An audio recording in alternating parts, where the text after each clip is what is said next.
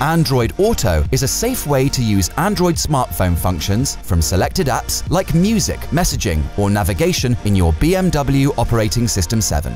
To use Android Auto in your BMW, you'll need a Google or Samsung branded phone with Android 10 or a smartphone with Android 11.0 Plus that can be any smartphone brand. Activate Bluetooth and Wi-Fi on your smartphone to enable the wireless connection. Connect your smartphone to the vehicle via Bluetooth by going to Apps and then Android Auto. Select your device from the list and confirm the data privacy terms. Check if the subsequent number is shown and confirm on your smartphone.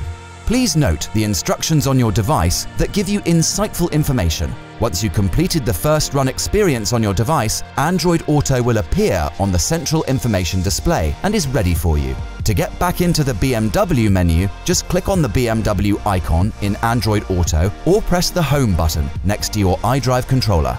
Click on the Android Auto icon on the top left of the central information display to start Android Auto. You can use Google Assistant to interact with your smartphone by tapping on the microphone symbol and saying the desired command. Take me to BMW World.